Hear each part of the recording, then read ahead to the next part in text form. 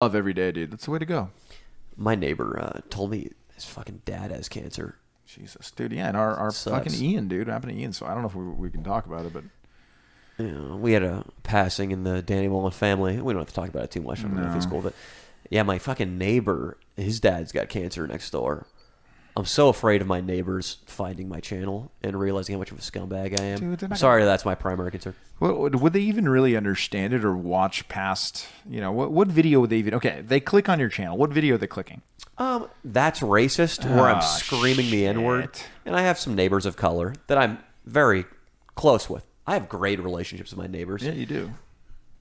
I talked to the one down the street about whorehouses. I talked to my buddy here right next door about camera work and shit. Mm-hmm. I just don't want him to see me roaming around with the Danny Mullen's Free the Slave It's shirt. very- you- you were which is why I turned it inside out, Yeah, I so it. I never step outside with it on accidentally. You now. really are such a you're difficult nut to crack, dude. If you were a woman, you'd be one of those women every now like every year I'd be like, It's another year. I have yet to figure you out, young lady. But listen, Why? What did I say that was well, listen, difficult? well, listen. We went around, you know, I know this video isn't out there yet, but we pig called fat people, right? And Danny was perfectly fine Yeah. to do this. Danny has ruined so many people's days, and I, on the other hand, try to alleviate the pain, tell him it's not a big deal. But you know that that's why he's got he's making the big bucks, and he's a, a true internet legend. And in his heart, where it really matters, he's a great guy, very kind. Well, fat people are fucking stupid. That's oh, different. Oh God, stop it, dude! I'm trying to say you have a kind heart. Listen, to me. He's like the Grinch. no character right now. You really think fat people are cool?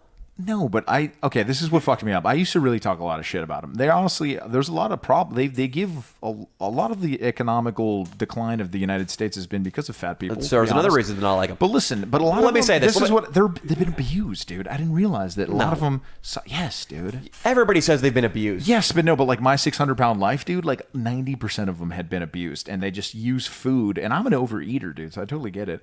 Like they use food as their drug, Danny. It's not a bad drug. You ever think about it? They just pound ice cream all day. People need to get a handle on themselves. And I want to say, well, if that's true, He's right? right. You're right. You're right.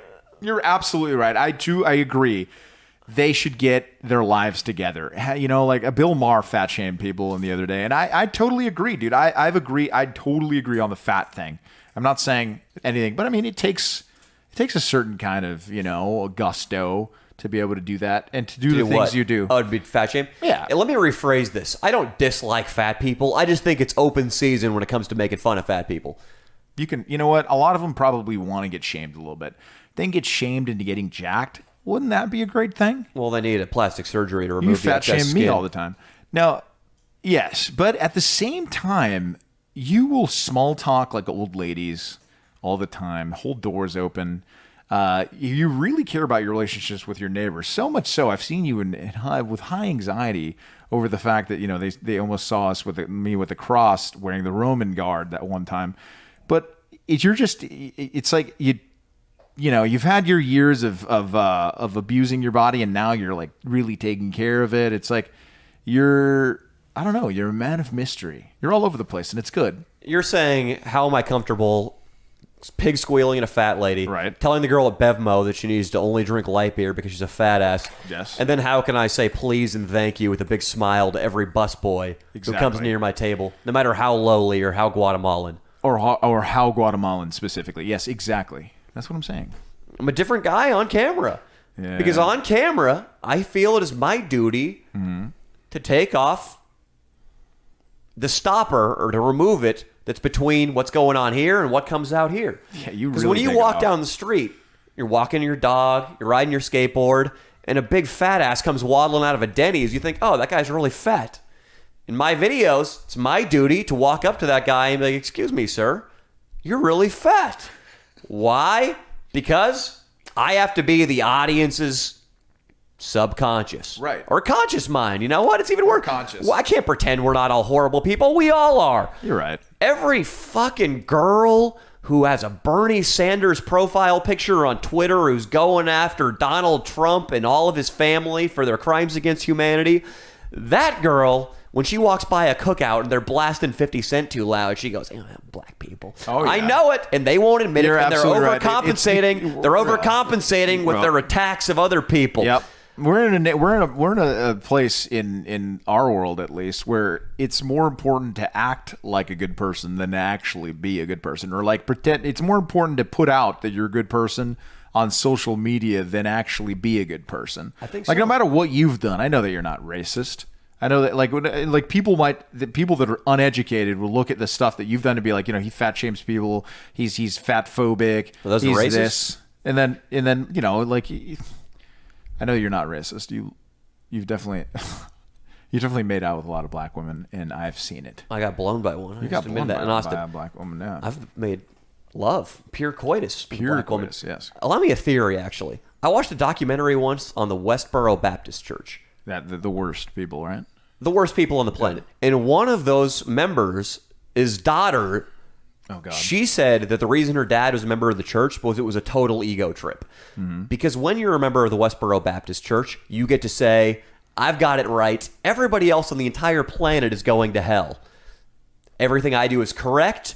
They're all doomed. They're all wrong. And when you're a hardcore social justice warrior, all of your flaws, you can bury them down because Right. everybody else is a neo Nazi, a Oh, yeah. racist, a bigot, and you get to feel a part of something.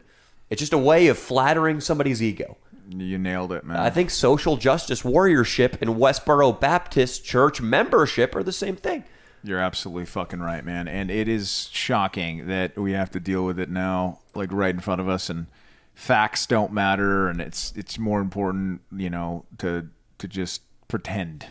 I saw a girl post today that anybody who reshares the opinion of a black person who is against the looting, so like Larry Elders is a local LA conservative black personality, somebody like that. If anybody shares him saying, don't break into a big five and take everything, she said the person who shares that is 10,000 times more racist. Oh my god. No, I didn't have my calculator or my logic flow chart, but that is exactly what you're talking about. Like Yeah. where like what are you talking about? What are you bitch? talking about? That doesn't Yeah. make any sense. That makes zero sense. No, I mean, I you, nobody uh, said anything about you filming or anything during in, in Dallas. If you were out here, I'm pretty sure they would have.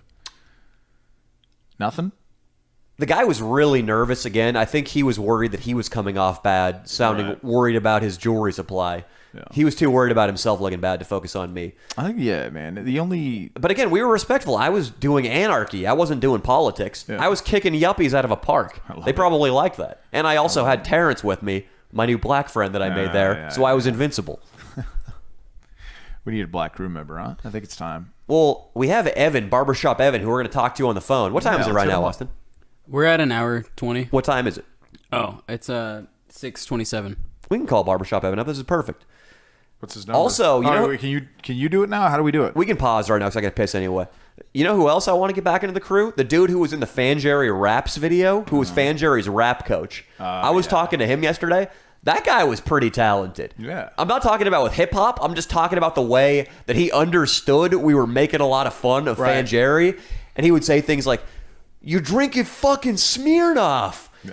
Take a hit of this Henny. Yeah. Right here in this brown, this is hip hop. Yeah, I he like- was a really good improviser. It's yeah, it's tough. It's tough to find people that go along with that. Sometimes they, they most people think that we're just really abusing guys. You know, we Really- are. Well, yes, But we need no. somebody who can take part in our abuse. exactly take part and, and add to it.